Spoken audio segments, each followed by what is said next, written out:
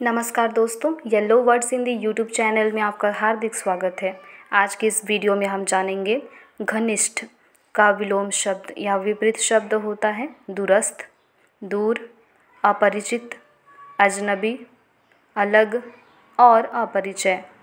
दूरस्थ, दूर, अपरिचित, अजनबी, अलग और अपरिचय। इसी के साथ इस वीडियो में बस इतना ही। Thank you